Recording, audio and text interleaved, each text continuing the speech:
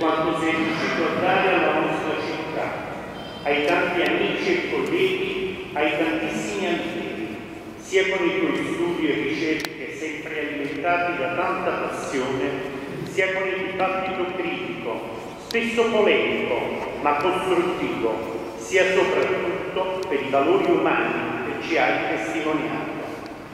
Tu Massimo, personaggio colto, attento, studioso, dall'umor raffinato e sempre pronto alla battuta, con quell'accento dialettale che non sociava mai nel volgare, come solo i pochi veri signori possono consentirsi, hai fatto parte, assieme a tuo fratello Franco, di quei concittadini che hanno contribuito a tenere alto il nome della nostra cultura.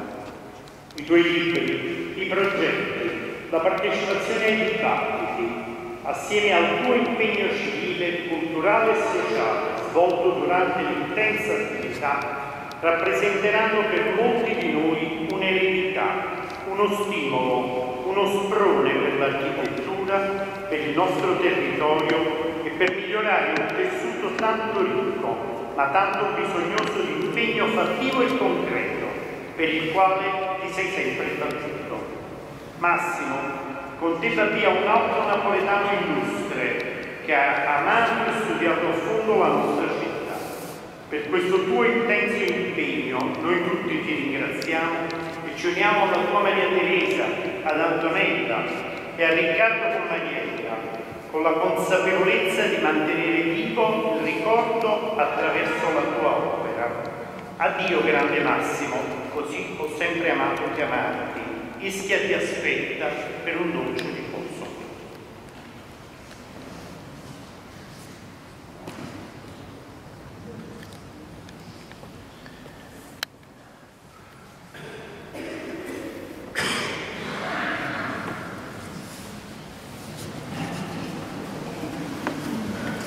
Abbiamo concluso il nostro rito per salutare il nostro fratello Massimo.